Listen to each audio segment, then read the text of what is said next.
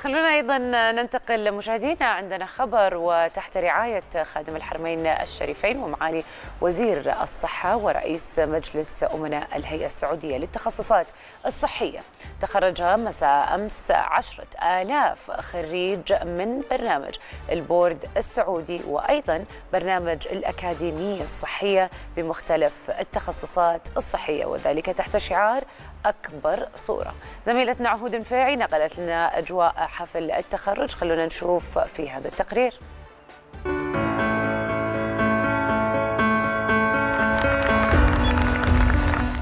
اليوم 10000 خريج في القطاع الصحي من البورد والأكاديمية يعملون بشكل دؤوب بعون الله للارتقاب بالخدمات الصحية.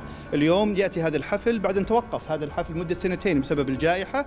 اليوم احتفينا بكل الخريجين في جميع التخصصات المتعددة آه، وكان من ضمنها التخصصات الأكاديمية والبورد السعودي وتخصصات متعددة يساهمون حقيقة في الوصول إلى مستهدفات المملكة آه، في الوصول بعمر الإنسان بعون الله إلى 80 سنة ويساهمون أيضا في مكافحة الأمراض المزمنة ويساهمون في العلاج في تخصصات متعددة. كنا سعيدين اليوم نشوف فرحة الأهالي ونشوف فرحة الخريجين بما حققوه وما حصدوه من التعلم اللي حصل في الجامعة وفي الزمالة وفي تخرج اليوم من البورد السعودي. اليوم نحتفي تحت مسمى أكبر صورة. اليوم نجمع أكبر عدد من الخريجين في تاريخ الهيئة في برامج البورد السعودي وبرامج الأكاديمية الصحية.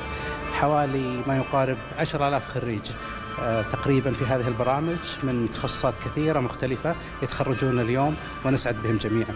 تخصصات متنوعة آه، برامج البورد السعودي تعتبر برامج متعددة التخصصات. يعتبر البورد الوحيد في العالم الذي يجمع كل منظومة التخصصات الصحية داخله في تخصصات مختلفة في الطب والجراحة وطب الأسنان والصيدلة والتمريض والعلوم الطبية المختلفة. أكثر من 155 تخصص.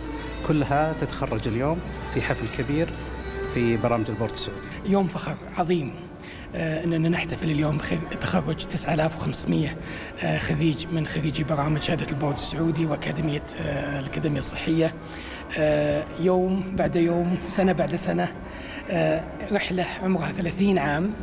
مليء بالفخر والإنجاز واللهم لك الحمد والشكر. احتفالنا اليوم هذا احتفال بإذن واحد أحد إن شاء الله يتبعه احتفالات بمنجزات خريجين البورد السعودي وخريجي وزملاء خريجين في الأعوام المقبلة بإذن الله. نفتخر خلال مسيرتنا من 2017 بتخريج أكثر من 24 ألف بالشراكة مع القطاع الخاص والقطاع الحكومي وأكثر من 100 آه، شريك توظيف و250 جهة تدريب. فخورين جدا اليوم آه، فخورين برحلة الإلهام اللي نشوفها على وجه كل الخريجين. وما إنما هذا يشكل يعني أحد أهم الأسباب اللي آه، إحنا نسعى يوما بعد يوم آه، للعمل عليها من أجل تحسين ورفع كفاءة آه، الرعاية الصحية في المملكة العربية السعودية. الحمد لله. في البداية أنا خريج جامعة الملك سعود كلية الطب بعد دراسة سبع سنوات ولله الحمد.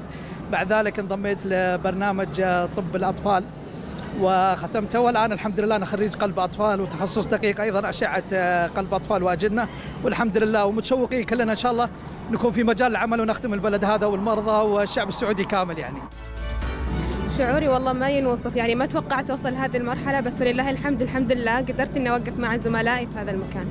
إحنا من ناحيتنا كممارسين صحيين تعنينا الفرحة هذه كثير وتتويج لنا العطاءات اللي قدمناها إحنا ولا زلنا نقدمها إن شاء الله بحكم عملنا طبعا. والله الفرحة غير لأن أنا تخرجت عام كورونا 2020 فهذه أول تخرج لي بالنسبة لي يعني الحمد لله يعني. والله شعور أكثر من رائع الحمد لله رب العالمين اللي وفقنا وتخرجنا ونشكر هيئة التخصصات نشكر وزارة الصحة على هذا الحفل الكريم والحمد لله إن شاء الله آه، الحمد لله إن شاء الله آه، نتوظف نرفع رأس وطننا وأهلنا إن شاء الله. تخصصي كان أحياء فاتاحت لنا هيئة التخصصات الصحيه آه، فرصة إن ندخل في المجال الصحي فالحمد لله أنا اليوم خريجة تخطيط قلب. آه، شعور جدا جميل للأمانة ما ينوصف. حصاد السنوات آه، بعد رحلة آه، سبع سنوات من الطب وأربع سنوات من التخصص. الحمد لله حصل لنا الشرف حضور هذا الحفل الجميل والكريم والشكر موصول لقيادتنا الكريمة والموصول لهيئة التخصصات الصحية.